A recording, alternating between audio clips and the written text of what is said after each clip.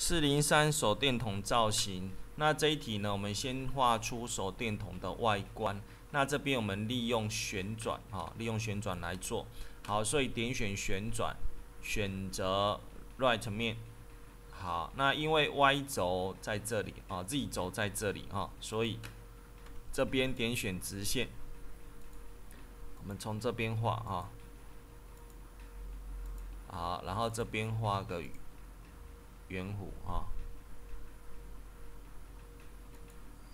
好，那弧心不要被绑在线上哈，好，然后因为我们要做旋转，所以我们这边画一条中心线，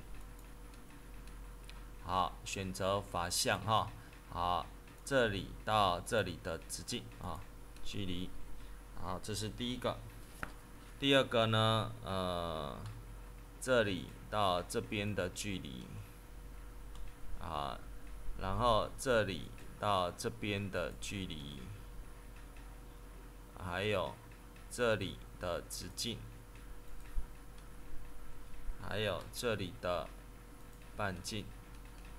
好，画完之后呢，啊，选起来右键修改啊，再生拿掉。来，第一个这边的直径是一百五，好，第二个这边是二七五。第三个，呃，这边是两百，然后这边是六十，然后半径是七十五，好，打勾，确定，好，确定，好，那手电筒的外观就画完哈，来，那我们这边先做一个导圆角，这边导圆角的半径是二十四。好，确定。好，完了之后呢，我们就可以做壳啊。这个面不要，点一下。壳后呢，这边告诉我们是四。好，打勾。好，完了之后呢，我们接下来画这个部分哈，这里。啊，这里这个部分。好，所以这里呢，一样，我们做旋转啊，选择 right 面。好，我们先画一条中心线给它。好，然后呢，这边我们利用矩形从这个点画出来啊。好，那这边的距离还有，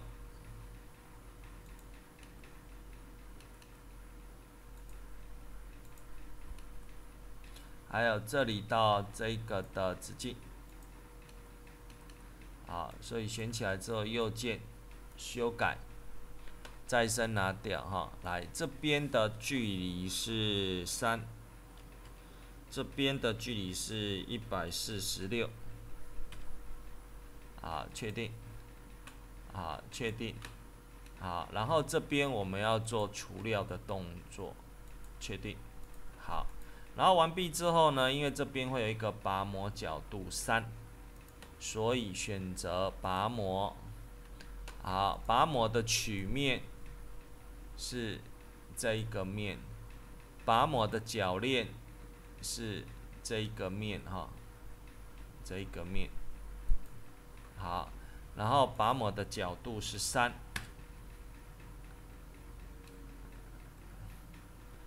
好，那拔模角度三方向是往往外哈，这边不变，里面的变大哈，好来，然后完了之后呢，我们直接。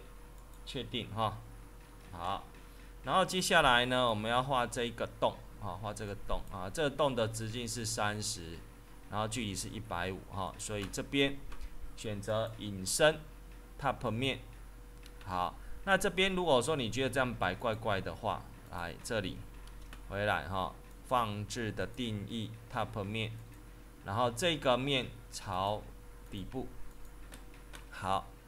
然后这里呢，我们画一个圆，好，用法相哈标注这里到这边的距离，好，选取之后右键修改哈，好，这边是一百五十，直径是三十，好，确定，确定，好，Ctrl D 哈。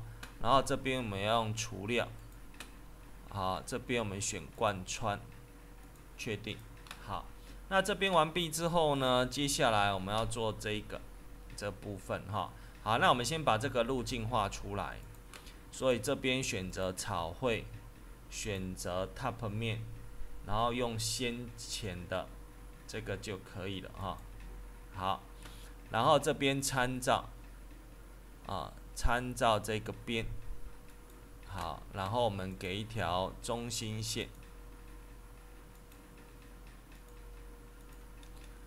好，然后直线哈，从这里画出来，水平垂直哈，然后这边做个圆角，好，选取之后做镜像，好，法相哈，从这里到这边的距离。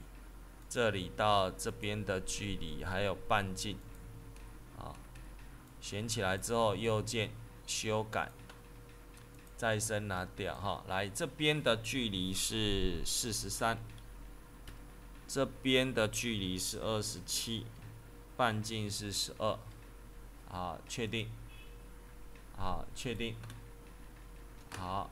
然后这里呢，我们利用扫描路径是这一条哈，选择编辑截面，好，然后这边中心点在这里哈，那因为这里呢，这我们现在画出来是这一个，所以圆心不能在这里，是边要切这个线哈，所以这边要注意一下哈，圆，好，圆心不能画在这里，要画在这个里面哈，然后圆要切过这一条线。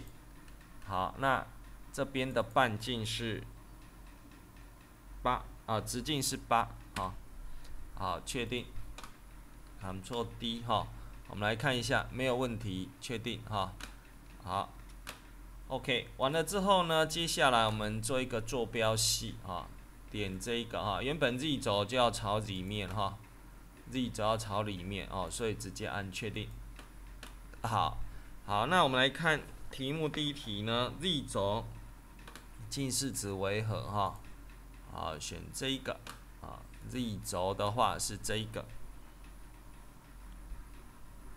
好，然后第二题呢，呃，总体积是这一个。好，接下来我们看好，它要改变尺寸哈。来，第一个旋转右键。编辑定义哈，好编辑，好，然后第一个呢，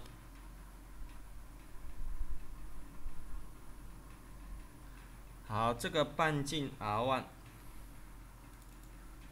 七十五要改成八十，好那其余的不变，好确定，啊，然后导圆角。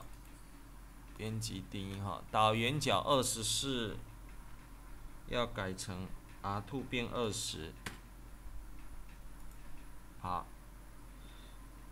然后呢，接下来薄壳，薄壳的厚度原本是，改成三，好。然后呃旋转这里哈，编辑定义，好，旋转这边没有变哈，所以这边不用改。然后拔模这边有变哈，拔模角度 A 改成三改成两度哈，好，然后隐身这个地方没有变，草绘这个地方没有。变，但扫描这边有哈，扫描这边的半径啊，直径八要改成五，确定哈，确定，好来，那接下来我们来看题目，告诉我们 Z 轴近似值为何？啊，所以 Z 轴是这个。